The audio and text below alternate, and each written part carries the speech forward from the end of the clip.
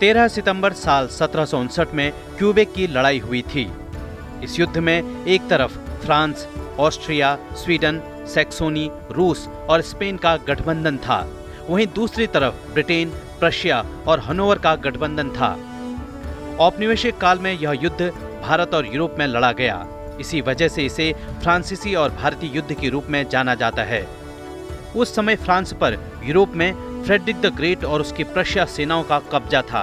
Britain ने व्यापारिक दृष्टिकोण से एक प्रतिद्वंदी के रूप में फ्रांस को नष्ट करने के लिए इस युद्ध में भाग लिया। इसे अब्राहम के मैदानों की लड़ाई भी कहा जाता है। चार साल तक चला यह युद्ध सत्रह में फ्रांस के आत्मसमर्पण के साथ समाप्त हुआ। 13 सितंबर साल उन्नीस सौ उनतीस में जतीन्द्र नाथ दास शहीद हुए। वे एक महान क्रांतिकारी थे। उन्हें यतीन्द्र नाथ दास या जतिन बाबू के नाम से भी जाना जाता है। पहली बार वो 1920 के असहयोग आंदोलन में शामिल हुए और चार दिन के लिए जेल भी गए।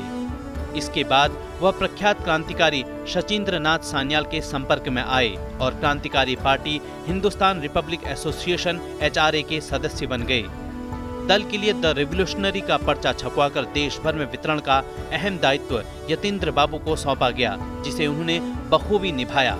भगत सिंह के आह्वान पर लाहौर जेल में क्रांतिकारियों के साथ हुए दुर्व्यवहार को लेकर भूख हड़ताल आरंभ की गई। तिरसठ दिन की भूख हड़ताल के बाद यतीन्द्र दास ने आज ही के दिन स्वाधीनता की लड़ाई में अपना बलिदान दे दिया।